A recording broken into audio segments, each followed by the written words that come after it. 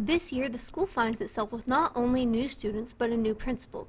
Stephen Stefanik, having replaced former principal Milo Miller, has changed policies all throughout the school. One change being the dress code, with students now being allowed to wear official HCP sweaters and jackets all year round and have patch pockets on their pants. Another big change that will affect not only the student body, but the entire faculty as well, is the change in policy towards a softer curriculum. Harding wants to focus on giving students what they need to succeed on an individual basis, trying to promote equity over equality.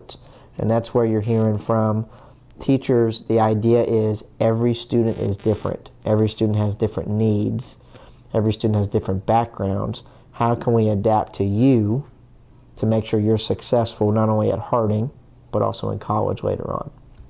Staff wish to change the systems in place towards equity, but also keep the school constantly changing to make it the best school it could possibly be for every student. Alice Bennett reporting for the HCP Marionette.